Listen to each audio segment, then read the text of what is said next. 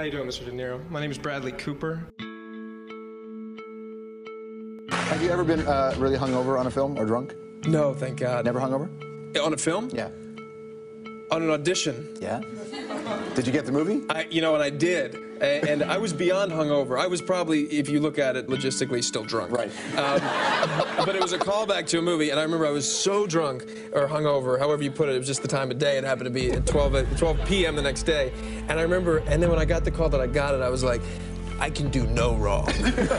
there was a moment when I was taking my dog to Philly to shoot the movie. They were there outside uh, my house. I live in Venice, and uh, and it's like I live right on the street. So like, anytime I open the door, you know, if someone was Yeah. there, I remember like bending down to like take pick Charlotte up and put her in the truck, and I was like, and there was a guy literally right behind me. And I remember thinking like, my ass is probably oh. showing. I remember I was like, it's pretty nice ass crack shot they just got, and then like literally.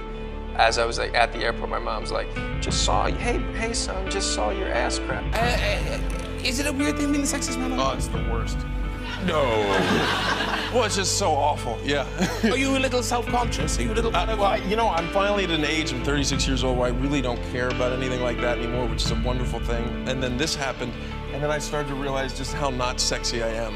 Oh, stop. No, I swear to God, I swear to God. I have a lot of moments where I'll be like walking out and I'll like, go- like I'll open up the door and I'll go, I could do that a lot sexier.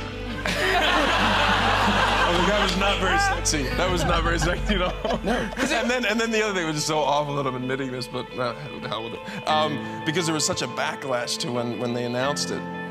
And Ryan Gosling, who I love, and I just did a movie with him, he's the greatest. But we were both in Paris this last week, and uh, a friend of mine showed me like there was like photographs from the paparazzi. And when I say friend, I mean me alone in my room looking at the computer. So, and there's like him like walking around, and he literally looks like he's in a photo shoot, like he just came off the runway. What like the pea coat is like this with the scarf, and I literally this just ones of me, and I literally look like the neighbor who never really comes out of his house. and when he does, you want to make sure like maybe he should just stay in.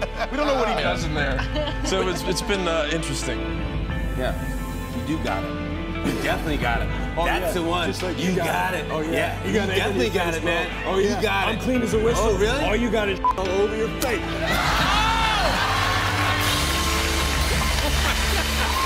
You had fun. You had fun. And what are you wearing, mister? He's wearing Thom Sweeney. Thom Sweeney? How do you know? Because We- we he just- opened up the thing and I looked. Do you know how much like a married couple you guys are? Are you really? No. We bicker all the time and we don't have sex. Do you feed the squirrels like Clint does? I've watched him feed them. I wouldn't dare get involved. Why not? Well, it's his thing. You can, you can also feed the squirrels. It's not his thing. I don't know. I mean, but it's it's sweet, right? He sits like pecan- like a peanuts on his desk, Yeah. and the squirrels come in and sit on his desk and eat. I thought it was a joke the first time, but they really come up, and then he's like, "All right, hold on a second.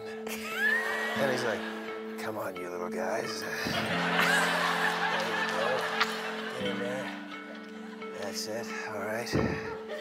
Okay, what were you saying?"